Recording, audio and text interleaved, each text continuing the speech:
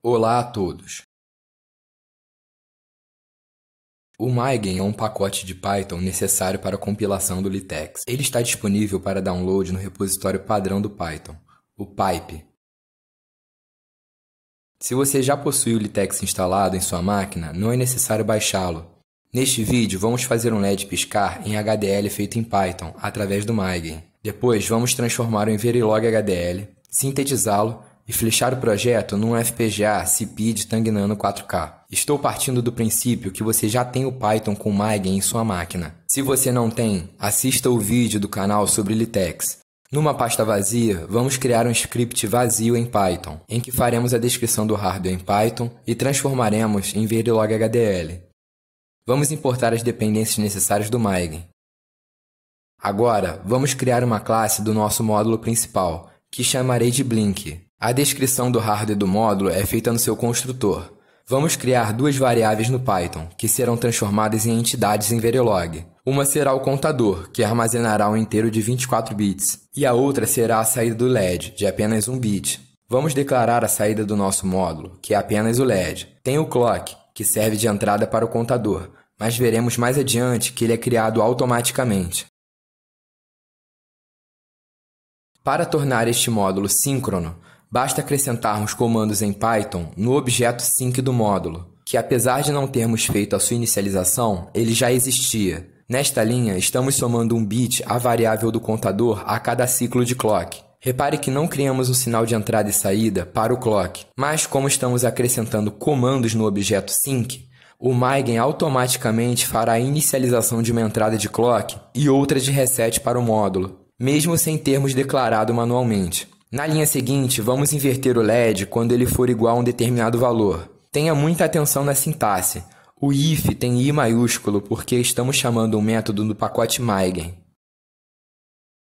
O primeiro argumento é a condição, e o segundo argumento é a saída do hardware caso essa condição seja satisfeita. Outro detalhe importante é que quando estamos acrescentando comandos no objeto sync do módulo, a ordem do comando é preservada quando é realizada a tradução para Verilog HDL. Ou seja, quando o Verilog estiver pronto, toda vez que houver uma transição de subida no clock, o hardware primeiro incrementará o contador para depois verificar se deve inverter a saída ou não. É apenas isso. O nosso módulo já está criado. Para verificar se há alguma inconsistência, Vou abrir uma instância do módulo, cujo nome será instance.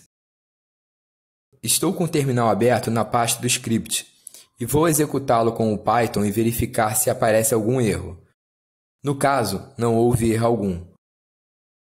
Agora vou chamar o método do Verilog do módulo mygen.fhdl chamado convert. Esse método retorna o código em Verilog HDL trazido do HDL que escrevemos em Python agora. Coloquei o método dentro da função print para que ele exiba o resultado na nossa tela do terminal.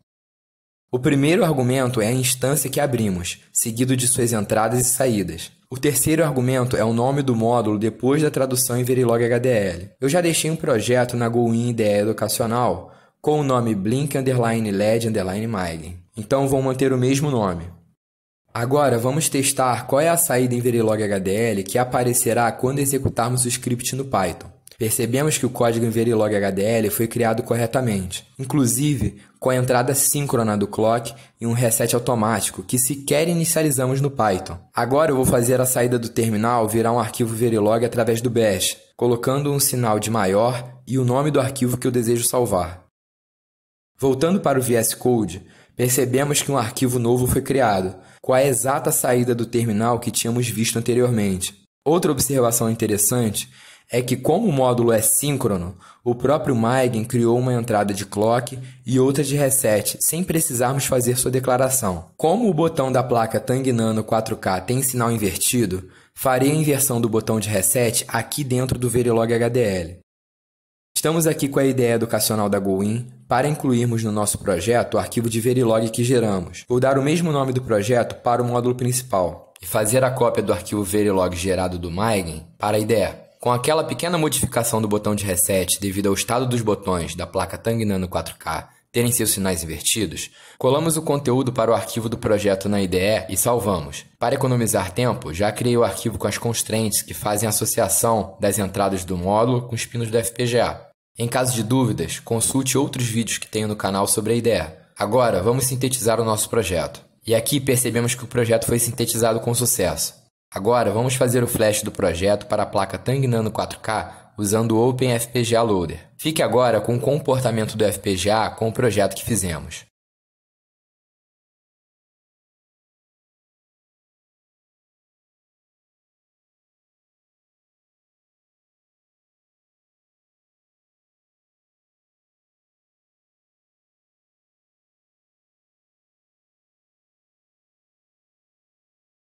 Até a próxima!